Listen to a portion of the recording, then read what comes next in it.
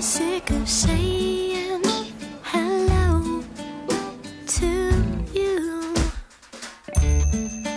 Being told just